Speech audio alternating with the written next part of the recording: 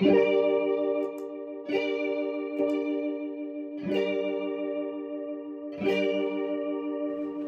was thinking because what we could do is we could do one pass till the bridge, till like the when everything drops out, And then do another pass. and then to, then to the end.